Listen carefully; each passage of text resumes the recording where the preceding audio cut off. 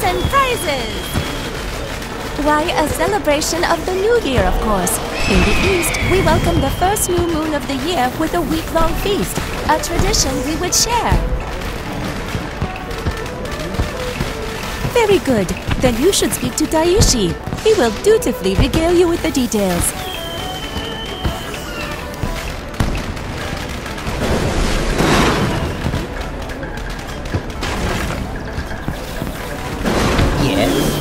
Have you come to learn about the festival? I am Tai Shi Fei, but you may call me Shulu.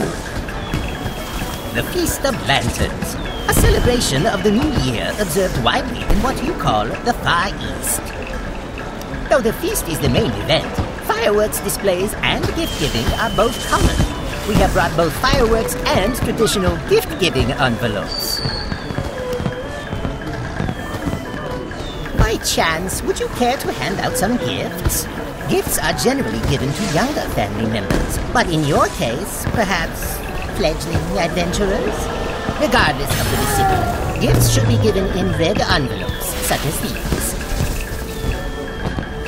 I hope my companion's long-winded explanation did not deter you from joining the celebration, friend. Oh, then you two are kindred spirits. Well, I am afraid I have no lengthy tales to regale you with.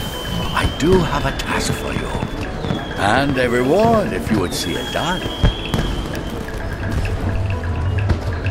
I am in charge of the fireworks. A task made difficult by an easily distracted apprentice.